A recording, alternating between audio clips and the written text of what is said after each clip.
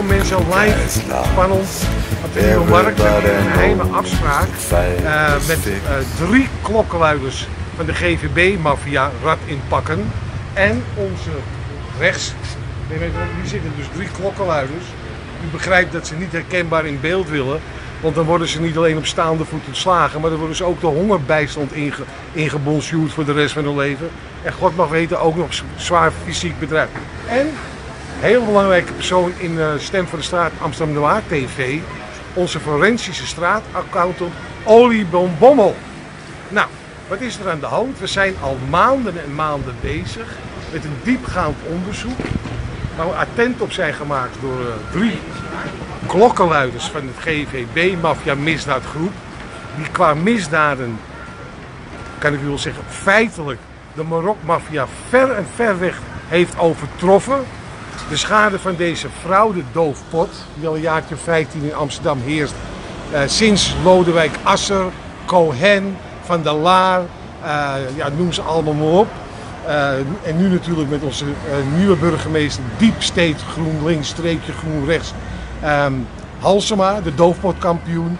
De schade die Amsterdam heeft opgelopen loopt al over de 4 miljard. Vastgesteld, niet door ons, maar door een forensische account. Afijn, even, u heeft ook een primeurtje. Ik sta hier niet alleen namens uh, de stem van de straat Amsterdam Noir, Salto TV. Maar ook van onze nieuwe zender, die de hele winter met spectaculaire, spraakmakende onderwerpen komt die u nergens anders ziet als bij ons. Wij gaan namelijk een nieuwe tv-zender lanceren. Amsterdam Noir TV. Afijn.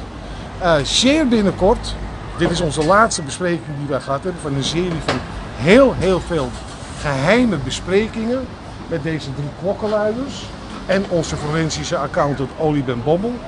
De hele winter gaan wij komen met een schokkende serie reeks over de meest succesvolle misdaadgroep in Amsterdam. En wie zal het zeggen in heel Nederland? BMW van Amsterdam en de fraude Beerput. U ziet het allemaal volgende week extra lang in de Stem van de Straat uitzenden.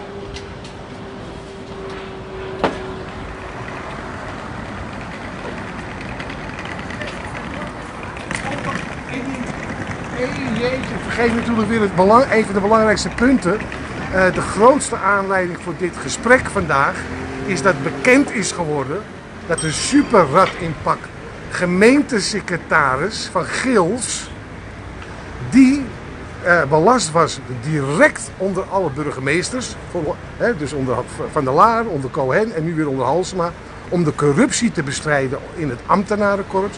En die er alles aan gedaan heeft kosten nog moeite heeft gespaard om de deksel op de beerput te houden.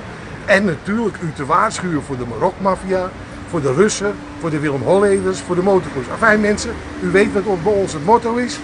Power to the people en power to the people. En kom op, terug met die gestolen miljarden. Ratten in pak bij de gemeente. The poor stay poor, the rich get rich. That's how it goes.